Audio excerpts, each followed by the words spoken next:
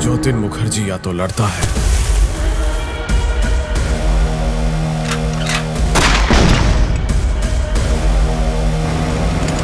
या मरता है।